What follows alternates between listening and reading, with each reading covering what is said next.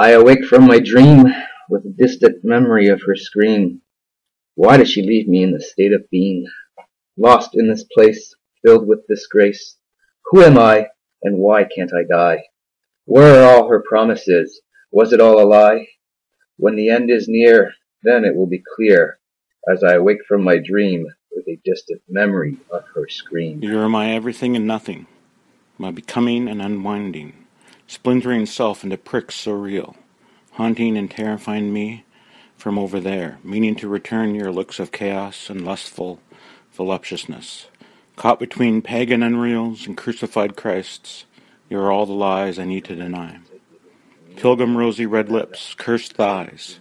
I am high, but totally objective. On point, buried moss, silk noose, snug to the bone. Leave this projected desire for myself to contemplate.